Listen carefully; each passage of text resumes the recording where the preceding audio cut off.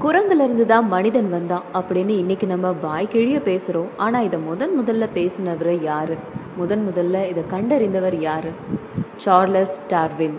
அவரை பற்றி தான் இன்னைக்கு நாம் பார்க்க போகிறோம் சார்லஸ் டார்வின் இங்கிலாந்துல ஆயிரத்தி எண்ணூற்றி ஒன்பதாவது வருஷம் பிப்ரவரி பன்னிரெண்டாம் தேதி பிறந்தார். இவரோட தந்தை ராபர்ட் ஒரு மருத்துவர். இவரோட தாத்தாவும் மருத்துவர். தன்னோட குழந்தை பருவத்திலேயே தாயை இழந்தவர் சார்லஸ். இவரோட சின்ன வயசுல இருந்தே பூச்சிகள் மேல மிகுதியான ஆர்வம் கொண்டிருந்தார்.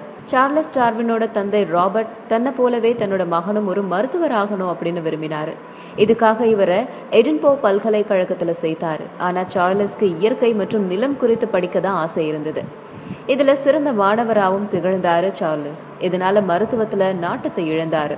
எடின்பர்க் போனதுக்கு பிறகு கூட தன்னோட காதல் பூச்சிகள் செடிகள் கொடிகள் மேலேயே இருந்துச்சு. இத ரொம்ப விரும்பி சேமிக்க ஆரம்பிச்சாரு. தான் மருத்துவம் படித்துக்கிட்டு இருக்கும்போது அறுவை சிகிச்சையின் போது மயக்க மருந்து இல்லாமல் சிகிச்சை மேற்கொள்ளும் போது அதை கண்டு ரொம்ப மனம் வருந்தினார் சார்லஸ். சார்லஸோட இருபத்தி இரண்டாவது வயதில் ஜான் ஹென்ஸ்லோ அப்படிங்கிற தாவரவியல் துறை அறிஞரோட நட்பு கிடைச்சிது. பிறகு கேப்டன் ராபர்ட்டோட நட்பு கூடியது. இது மூலமாக அமெரிக்க கடலோர பகுதிகளில் ஆராய்ச்சி மேற்கொள்ள ஹெச்எம்எஸ் பீகிள் கப்பல்ல பயணிக்க கேப்டன் ராபிடனோட நட்பு தேவைப்பட்டுச்சு. ரெண்டு வருஷங்களில் முடிய வேண்டிய பயணம் ஐந்து ஆண்டுகள் நீடித்தது. இதுதான் இவரோட வாழ்வுல பெரும் திருப்பத்தை ஏற்படுத்துச்சு. இந்த பயணத்தின் போதுதான் சார்லஸ் பரிணாம வளர்ச்சி கொள்கை உருவாக்க வித்தா அமைஞ்சது. இந்த அஞ்சு வருஷத்துல கப்பல் உலகையே ஒரு வலம் வந்தது. பல சிக்கல்கள் பல பிரச்சனைகளை தாண்டி அந்த கடல் பயணத்தை சார்லஸ் முடிச்சாரு. இந்த பயணத்தின் போது பல புதிய உயிரினங்கள் எலும்புகள் ஊர்வன பரப்பன நடப்பன அப்படின்னு பல ஒற்றுமை வேற்றுமைகளை அறிந்தாரு சார்லஸ். இது முன்னோர்களோட வழித்தோன்றல்கள் பற்றி ஆராய இவருக்கு பெரும் உதவியா இருந்துச்சு.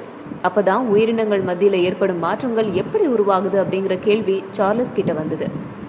இப்போ நாம கண்ணால பார்க்க முடியாத பல அழிந்த உயிரினங்கள் பரிணாம வளர்ச்சி பெற்று இப்போ உலகத்துல வாழ்ந்து கொண்டிருக்கிற உயிரினங்கள். அதுக்கு மத்தியில இருக்கிற எலும்புகள் சார்ந்த ஒற்றுமைகள் குறித்து ஆய்வு பணிகள்ல ஈடுபட்டாரு சார்லஸ். தான் சேகரித்த எலும்புகள் கொண்டிருந்த விலங்குகள் சில முற்றிலும் அழிந்து போயிருக்கலாம் அப்படின்னு அப்பதான் யூகித்தாரு சார்லஸ்.